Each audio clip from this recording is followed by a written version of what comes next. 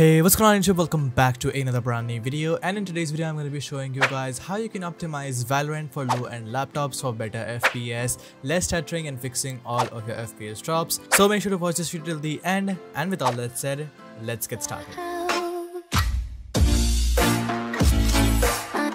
Alright, step number one is installing your game on an SSD. It's very important to know that SSDs are much faster than your normal hard disk drives and installing your game on SSD will help you to fix slow loading and it also helps you to improve your FPS because your game is much faster than it is on a hard disk drive. And to copy your games to your SSD hassle free, I want to introduce you guys to EaseUS Disk Copy. And I can't stop myself from telling you guys that this application is the master control for upgrading your disk to another disk hassle free without any corruption. This application offers you to backup, create a restore point and so many other purposes. You can simply download it for free from the link in the description below. Once you open up the application, the interface looks pretty easy and pretty simple. Over here, they offer you three features, disk mode, partition mode and create a bootable disk. Now the disk mode offers you to copy your disk data to another disk without any corruption and you can use this to copy your existing hard disk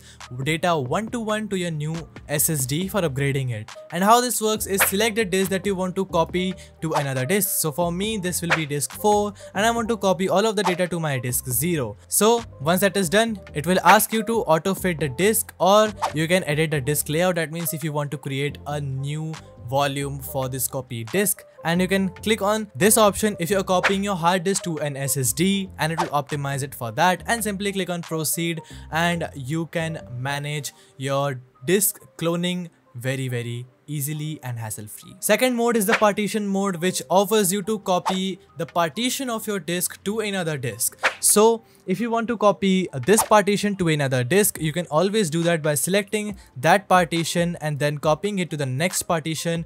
And then once again, you have this option if your new partition is on an SSD and then simply click on proceed. Last is your create bootable disk and your bootable disk helps you to recover your windows in case you end up in a bad situation. And the best part about this software is that it is very handy and it is portable so you can use it on multiple devices. It makes complex movement of data hassle free and corruption free. I would definitely suggest you guys to go check out EaseUS Disk Copy to move all of your games and data to your SSD and enjoy faster loading in games and better FPS.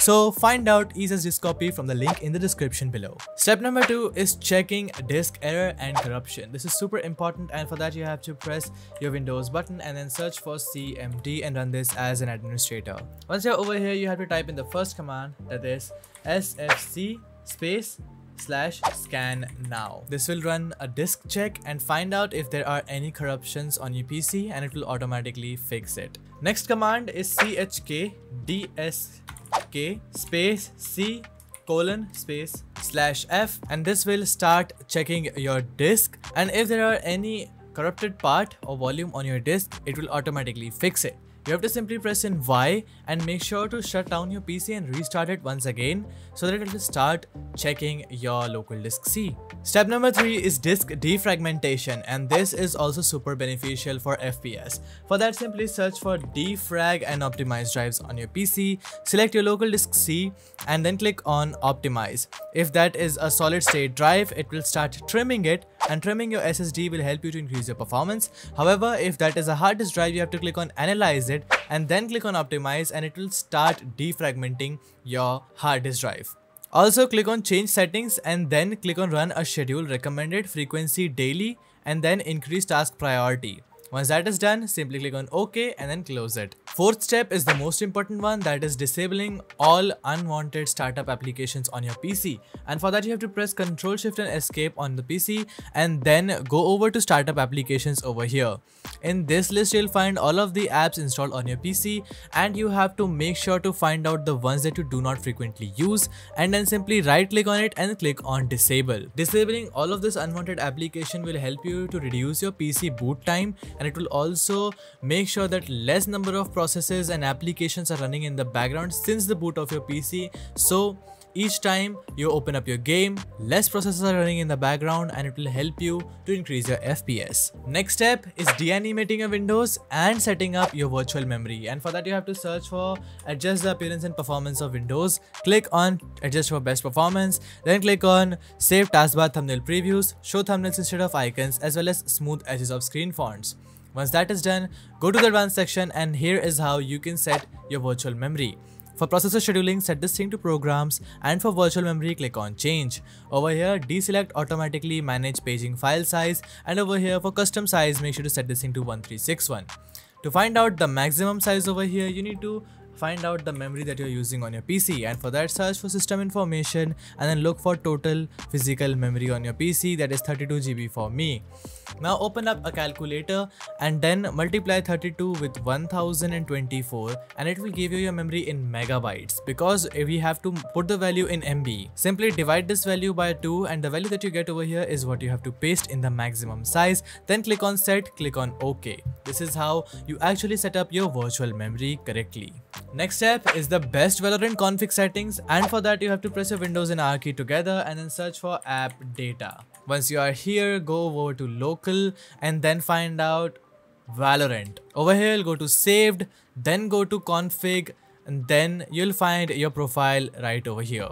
Simply double click to open it up, go to Windows, and then you'll find game user settings.ini. Simply right click and open it up with notepad. And then over here, you have to copy the following settings. Make sure that your VSync is false and use dynamic resolution is false. For frame rate limit, you have to set this into 3 FPS lower than your monitor refresh rate.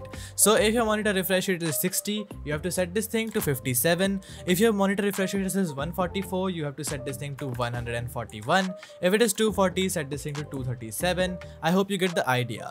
This will help you to get the best FPS possible. Then all the way down, you will find scalability groups and over here resolution quality set this thing to 90% and then your view distance quality set this thing to 1 anti-aliasing quality 1 shadow quality 1 post process quality 1 texture quality 1 effects quality 1 foliage quality 1 shading quality 1 and once that is done simply press ctrl and s together close this file and then right click on it go over to properties and then make sure to set this thing to read only so the game does not override your setting. Once that is done simply click on ok Next step is fixing all of your internet issues using ExitLag. Exit lag is pro's choice to get rid of packet loss, input latency and so much more. You can simply get ExitLag from the link in the description below. Once you open up the application, on the left hand side you'll find over 1000 games to choose from. You can simply search for Valorant and simply add this to your list. Now select the nearest game region to you that is Mumbai 01 for me and then you'll find your estimated ping over here. Simply click on apply routes and it will one click optimize your internet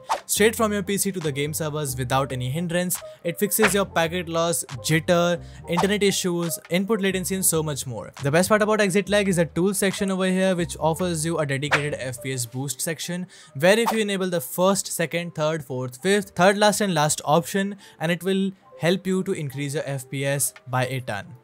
Once again, ExitLag is not free to use and you need to get a subscription. But if you go through my link in the description below, you can get up to 33% off on quarterly subscription. So make sure to go check out ExitLag. Links are in the description below. Next step is creating a restore point and this is super important. Simply search for create a restore point on your PC. Look for a local disk C, click on create and name it Valorant just so you can remember it.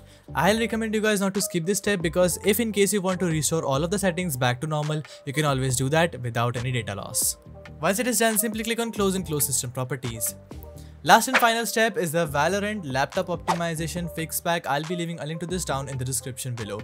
You can simply open it up and over here you'll find in 5 folders. First one is the CPU priority in which you'll find AMD and Intel CPU priority. If you have an AMD CPU you can run this one, if you have an Intel CPU you can run this one. Double click to run it and it will be applied on your PC. This registry will help you to give your CPU much better priority to be utilized while you're playing the games. Second folder is the laptop priority for Valorant in which I have left above normal, high and normal priority. By default your game is set on this priority but you can actually prioritize your game so it utilizes more resources on your PC that ultimately gives you better FPS. And for choosing between this one, you can leave your PC specification down in the comments below and I'll be telling you guys which one to choose over here. Third folder is the RAM optimization and once again I use 32GB RAM so I need to run this one but I have left a ton of presets for you guys so you can pick one of this and once again if you don't like it you can reset it back to default. Simply double click to apply the RAM registry that you have installed on your PC.